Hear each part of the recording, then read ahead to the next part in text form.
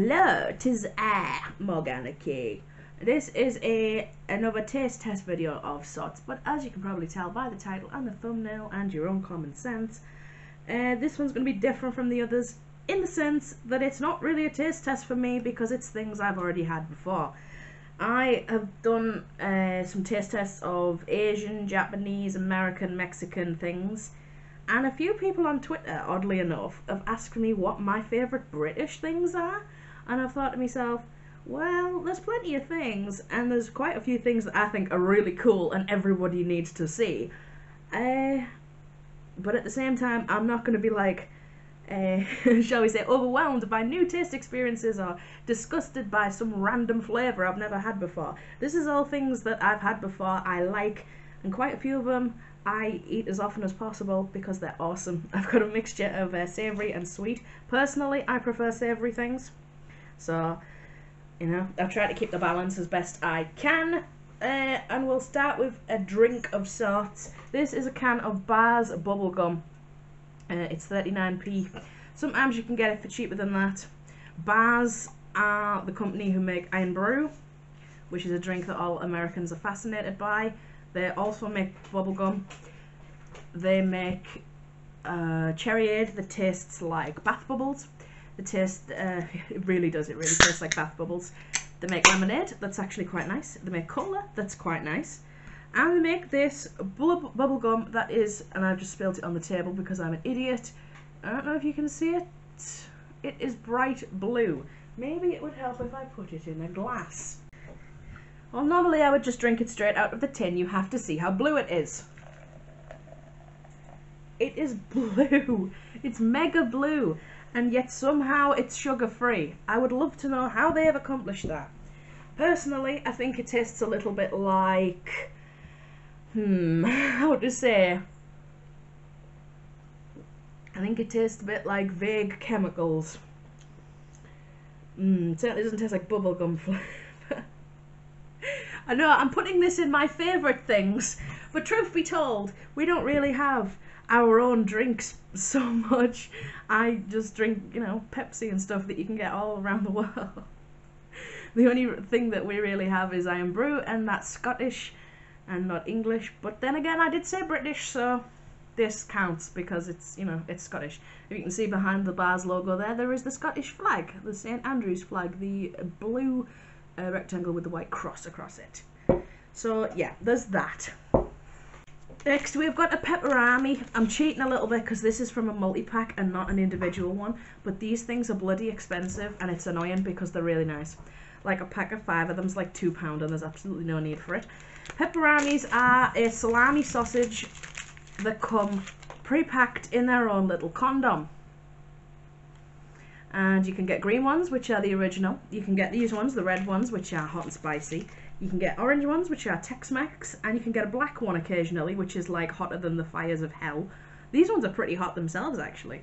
It's funny because the cats always want them so I always bite off a tiny little bit and give him it. Mainly Jet and I just watch his face as he realizes it's spicy but he still wants to eat it. Absolutely love those. Oh my god. So good. I'm trying to think of something that's similar that Americans might know of. Um, I'm tempted to say Slim Jims, but to my knowledge, Slim Jims are like meat offcuts and stuff. This is like a better quality of meat, if you like.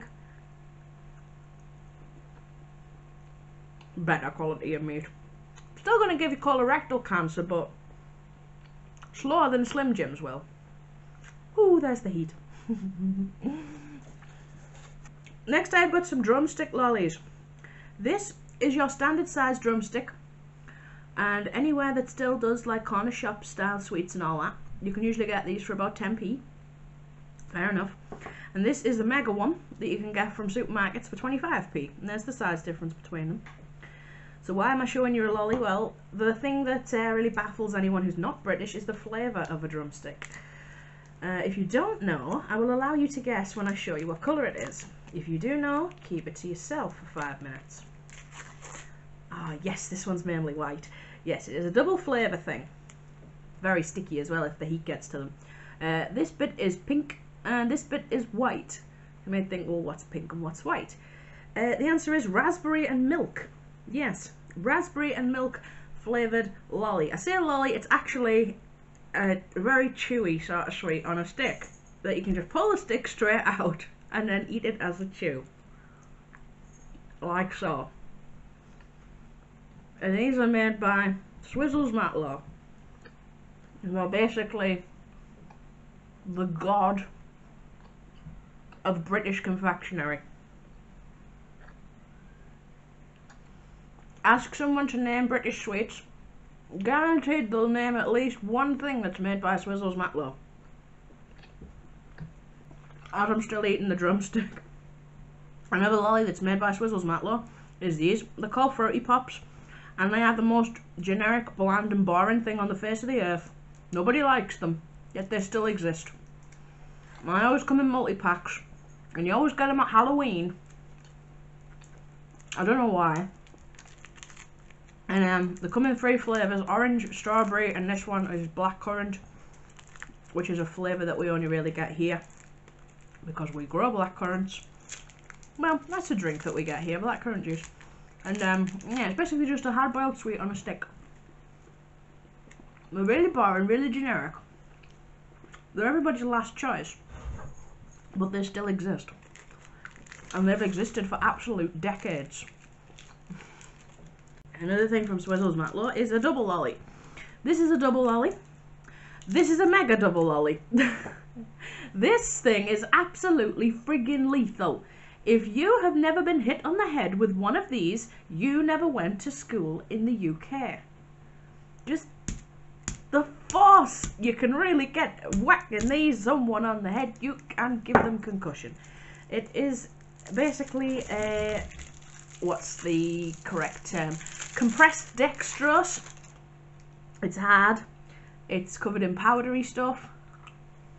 And they're usually two flavours, but I can't figure out what the flavours ever are. They're really good though, and they take absolutely forever to eat.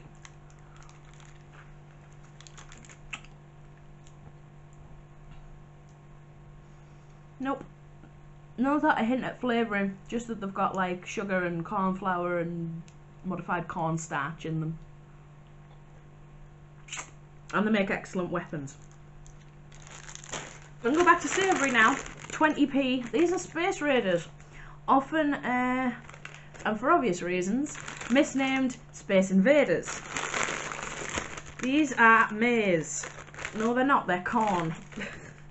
Most things are maize, so I assume they're maize. They are corn snacks, also known as crisps, though they're technically not crisps because they're not made of potatoes, they're made of corn. And uh, they are little alien heads.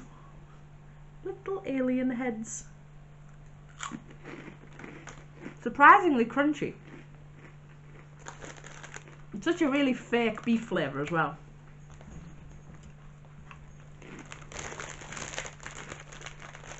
I think you can get pickled onion and barbecue. And there's a yellow one, which I assume is cheese. This is made by Golden Wonder. Golden Wonder makes such interesting crisps, I swear. On the back of each bag, there's like a stats of the different alien that's on the bag. That's the red one. So he's um uh, he's three and a half meters tall, and he likes to eat um he likes to eat cows that have been raised on Af astroturf and uh, beef space raiders, as you do. Back to Swizzels Matlow again. Parma motherfucking violets. These are ordinary sized Parma violets. These are giant Parma violets. Do you notice a trend with Swizzels Matlow? Now, what flavour are Parma violets? And there are still people in this country who don't know. That's what they look like. They are little hard sweets, like that. Again, compressed dextrose. What flavour do you think Parma violets are? Yes, they are violet flavour, as in the flower. These are flower flavoured sweets. They're actual, um, whoops, it says on these ones actually, look, delicately perfumed violet sweets. They do, they stink. You open a packet of Parma violets and it's like you sat next to your nana. The stink of old nana perfume. It's like violet lavendery sort of smell. And I swear, it is just like you are you've gone out and you've picked some flowers and you are eating them. And according to this book I have about sweets, they topped the poll by absolutely miles. A list of British sweets that people love to hate. My dad really likes them. Shelley really likes them. She has a Parma Violets mug that she has coffee in. I I'm not I uh, I've got to play the indifferent card. I'll eat them if there's nothing else, but I won't choose them as my first choice for anything. Now I got some Transformer snacks. These are like one of my favorite favorite things ever. These come in different flavors. So there's cheese, uh, barbecue, spicy, uh, various other things. The best thing about these, these are uh, what are these made of? Corn and potato. I was going to say maize again, and they aren't. The best thing about these is that you can play with them. You get two different shapes of crisps. You get this one that is shaped like a little man. Or if you like, the body of a car. And you have to open them out onto the table. And you get these ones that are shaped like wheels. And you can put them on here and build cars. Edible motherfucking cars. Are you serious? This is 2018. These still exist. I ate them all the time as a kid. There's my car. That way. I have made a car out of crisps. This is quite possibly the best time to be alive, I swear.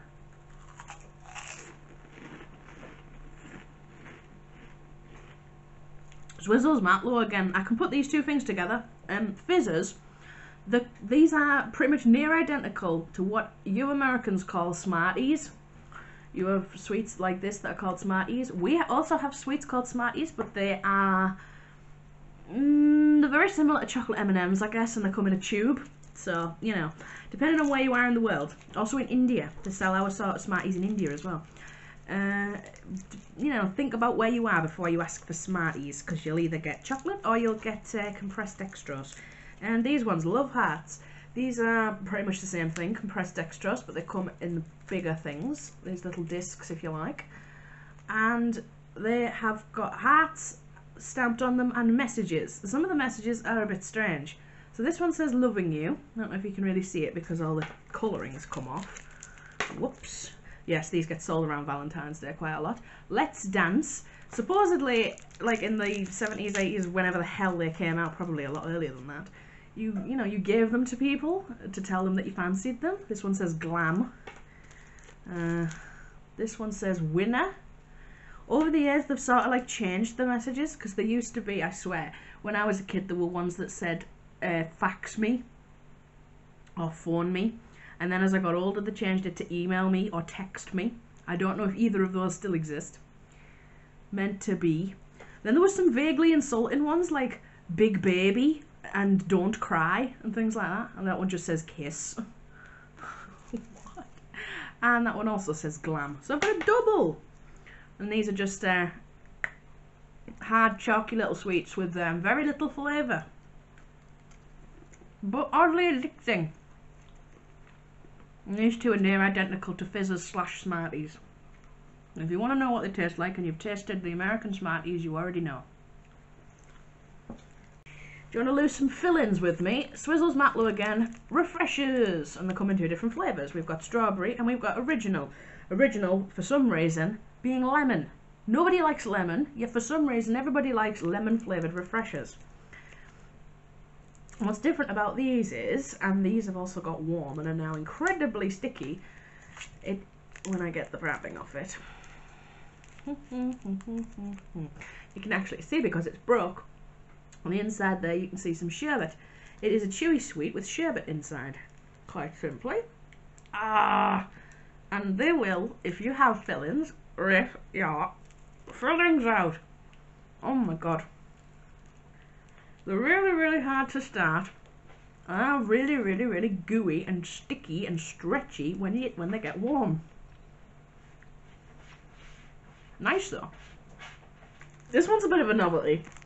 Golden Gum Nuggets. Tutti Frutti flavoured bubble gum. It comes in this little tiny Hessian sack. And for obvious, for hygiene reasons, inside the actual sweets are in a plastic bag. But something tells me originally they weren't in a plastic bag. They were just, you know, loose in a Hessian sack exposed to the elements. Nothing would surprise me. Ugh. And they are just little chunks of bubblegum meant to look like gold nuggets, I guess. And on the front, we've got this crazy prospector guy. I don't know why we like to appropriate American culture, and yet Americans are always the ones who get accused of cultural appropriation. Who knows? And uh, yeah, it's bubblegum. It's tutti fruity flavour bubblegum. Absolutely amazing. Just very, very similar to Anglo Bubbly or Bazooka Gum. That sort of bubblegum flavour. Mmm. A little hint of um, juicy fruit as well. Tastes a little bit like juicy fruit. The only problem with it is the flavour doesn't last two minutes. You'd be lucky if it lasts 30 seconds. But then you can keep the little bags and, uh, I don't know, put real gold in them. Another bag of crisps. I've got some Pom Bears. Oh my god, Pom Bears. These are made by KP. And just in fact, my mum used to work in the KP factory before she gave birth to me. That's awesome. These are potato little teddy bears. I didn't find one that isn't all curled up.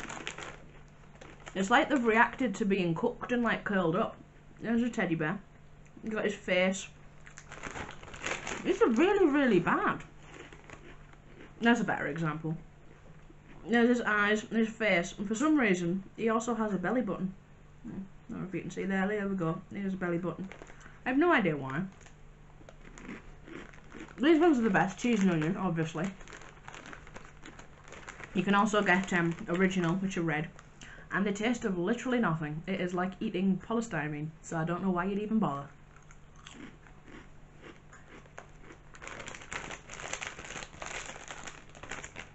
They're supposed to look like that.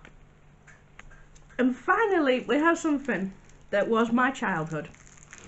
I used to get one of these as a treat because they used to sell them at the chemist. I was a very sickly child, so whenever my mum used to go and pick up my prescriptions, she'd buy me one of these. Now, I can't say that it's British because it's not. It's made by uh, Chupa Chups or Chupa Chups if you like. Uh, and they're from Spain. And upon, uh, you know, researching, you can actually buy these in other countries, including America. This is a melody pop. It is a lollipop that is also a whistle. It is whistle shaped. And you can use this stick to adjust the pitch of the note you play.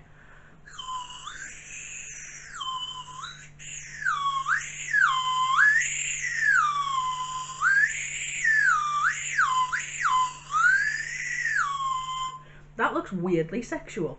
the only problem with this is, whoops, aside from dropping it, you once you start eating it, you can't really use it as a musical instrument anymore. But I like to play the Mario Brothers theme on it.